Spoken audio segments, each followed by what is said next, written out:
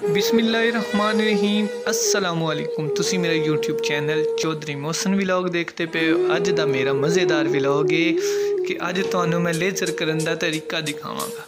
ਇਹ ਜ਼ਮੀਨ ਦੇ ਵਿੱਚ ਜਦੋਂ ਪਾਣੀ ਦਾ ਲੈਵਲ ਸਹੀ ਨਹੀਂ ਹੁੰਦਾ ਕਿ ਮਤਲਬ ਉੱਚੇ ਨਿਮੀ ਉੱਚੇ ਨਿੰਬਾ ਪਾਣੀ ਲੱਗਦਾ ਹੈ, ਉਸ ਵਾਸਤੇ ਅਸੀਂ ਜ਼ਮੀਨ ਨੂੰ ਲੇਜ਼ਰ ਕਰਾਈਦਾ। ਮੈਂ ਕਿਹਾ ਚੱਲ ਆਪਣੇ ਅੱਜ ਫਰੈਂਡ ਦੇ ਨਾਲ ਵੀ ਸ਼ੇਅਰ ਕਰਾਂ ਕਿ ਦੇਖੋ ਜ਼ਮੀਨ ਨੂੰ ਲੇਜ਼ਰ ਹੋ ਰਿਹਾ ਵਾ ਤੇ ਤੁਸੀਂ ਵੀ ਦੇਖ ਤੇ ਮਤਲਬ ਲੇਜ਼ਰ ਕਰਨਾ ਹੁੰਦਾ ਜ਼ਮੀਨ ਦਾ ਲੈਵਲ ਕਰਨ ਵਾਸਤੇ।